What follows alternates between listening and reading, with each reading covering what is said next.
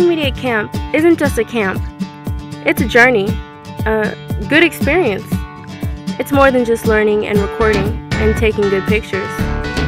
It's not just sharing ideas or playing games. It forms into a big relationship, almost like a family.